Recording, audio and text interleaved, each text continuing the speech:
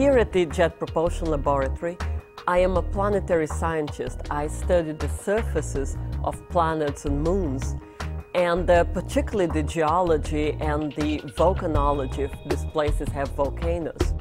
At the moment, I'm working on the Cassini mission.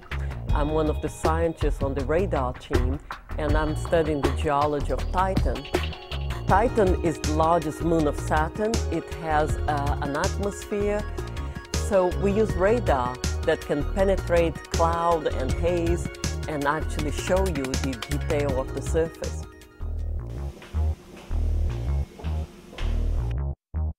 After my PhD in England, I came here for two years to study Mars and the volcanoes on Mars. But during those two years, I got to know people who were working on the Galileo project. Uh, Galileo was going to Jupiter. And uh, they offered me a job studying Io, which is Jupiter's volcanic moon.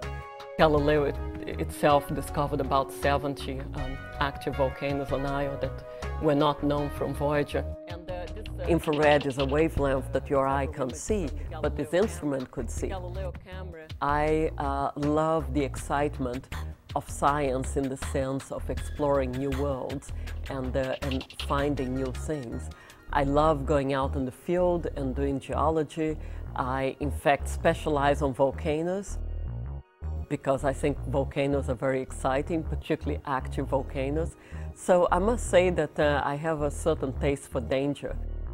I have done uh, uh, quite a bit of flying, I do scuba diving, and uh, I like seeing the world in different ways. I grew up in Rio de Janeiro. I was a studious kid.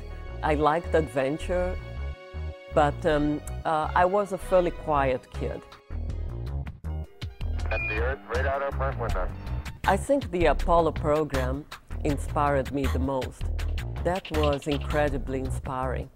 And uh, I think that's when I decided that uh, whatever I did in life, I was going to help the exploration of space.